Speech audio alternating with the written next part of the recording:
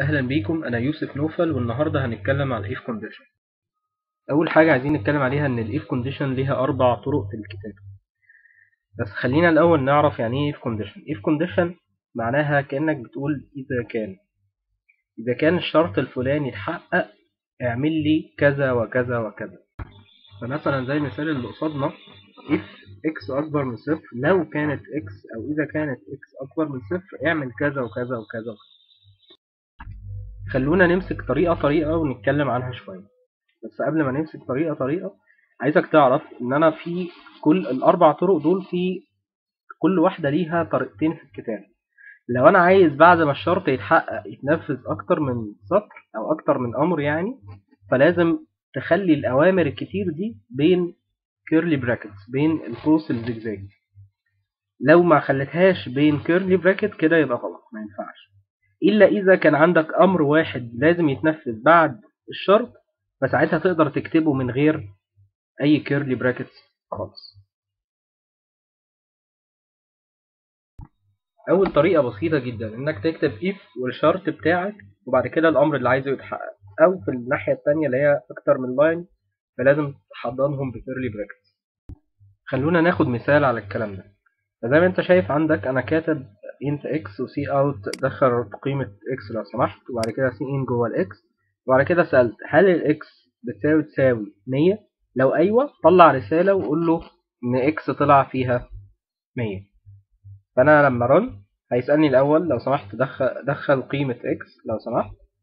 فأنا ساعتها هكتب القيمة بتاعتي وليكن 100 وبعد كده ادوس Enter فهيطلع لي إن x طلع فيها 100 اللي هي الرسالة بتاعت اللي جوه الشرط لما اتحقق أما لو جيت أعمل run تاني لنفس ال program وكتبت 99 مثلا فساعتها هيجي ياخد ال 99 ويخزنها في x وبعد كده ي check هل x بتساوي 100 لأ ال x فيها 99 فبالتالي مش هيطلع الرسالة طيب لو أنا عايز أكتب أكتر من أمر جوه ال if condition يتحقق يتكتبوا أول ما يتحقق الشرط فلازم أحضن الأوامر دي ب curly brackets فأنا مثلا كاتب أول أمر كان cout وبعد كده cout تاني hi 1 hi 2 وبعد ال if condition خالص رحت عامل cout تانية كده. فالمفروض ال cout دي كده كده هتتنفذ بعد ما يخلص ال if لأنها أساسا من ضمن الكود ملهاش علاقة بال if condition فأنا لو عملت run ودخلت 100 فهيقول لي x فيها 100 و hi 1 جنبيها لازق فيها hi 2 عشان أنا منزلتش سطر. وبعد كده ال cout اللي هي كده كده هتتنفذ لأنها بره ال if condition أساسا. فأنا لو نزلت سطر عملت backslash n أو end line حسب اللي تحبه يعني. فساعتها هيظهر لي لو أنا كتبت ال 100 هيطلع لي hi 1 و hi 2 في سطرين مختلفين. ولو أنا كتبت رقم تاني غير ال 100 فيجي check هل هي بتساوي 100 لأ دي فيها 99 فمش هنفذ الكلام ده. وهيكتب الأمر اللي هو cout آخر cout اللي هي بره أساسا ال if condition أما الطريقة الثانية فهي عبارة عن if و else يعني إذا كان وغير كده. يعني إذا كان أبيض اعمل كذا. غير كده بقى أي لون تاني اعمل كذا. تعالوا نشوف مثال على الكلام ده. فلو أنا عندي نفس المثال إن أنا باخد بدخل بطلع رسالة أقول له دخل قيمة إكس وآخد قيمة إكس وبعد كده كنت ساعات لغاية في الأول كنت بسأل بس هل ال x تساوي مية؟ ولو آه بتطلع رسالة ولكن هنا أنا زودت else اللي هي غير كده. لو هي ما بتساويش مية طلع رسالة قول لي إن هي ما فيهاش مية. وخد بالك كده كده آخر cout هتطلع معاك سواء كانت فيها مية أو لأ لأنها هي أساسا بره ال if وبره ال else ال cout دي كده كده هتتنفذ بعد اللي هي الرسالة الطويلة اللي أنا كاتبها. فكده كده هتظهر لأنها بره ال if condition وبره ال else أما الطريقة الثالثة فهي if else if else فهي تعدد الشروط وكل شرط ينفي الآخرين. يعني ما ينفعش واحد يتحقق والباقي كمان يتحقق. لازم واحد بس فيهم يتحقق. عشان كده أنا ما بدخلش غير على شرط واحد فيهم لو اتحقق ما ببصش على الباقي. زي ما عندنا في المثال اللي باين قصادنا if x أكبر من صفر. هل ينفع x تبقى اكبر من صفر وفي نفس الوقت أصغر من صفر؟ لا يمكن. طيب else يعني هي هل هي أكبر من زيرو؟ وهل هي else if هل هي أصغر من zero؟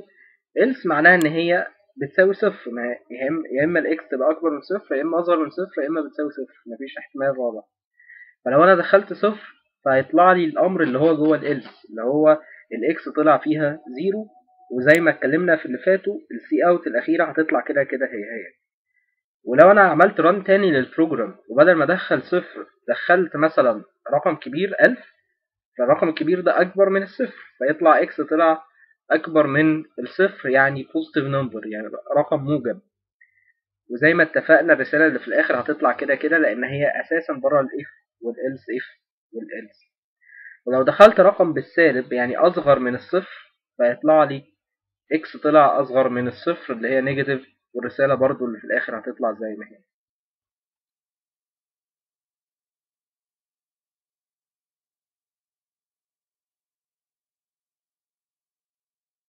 ما تنساش لو عايز تكتب أكتر من أمر يتنفذوا جوه ال if أو ال else if لازم تحضنهم ب curly bracket باقواس زجزاج زي ما أنت شايف في المثال اللي قصادك والطريقة الأخيرة إن أنا أكتب if من غير else وكأنك هنا كل مرة بتبتدي شرط جديد مش معتمد على اللي قبل حدوثه أو أو عدم حدوثه.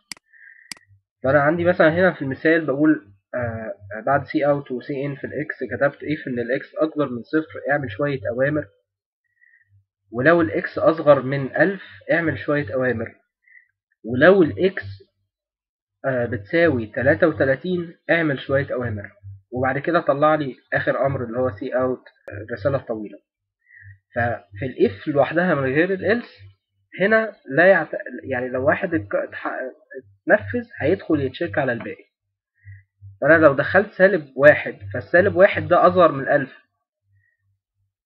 فهيطلع لي الرسالة اللي هي الثلاث رسائل اللي جوه اللي أصغر من ألف.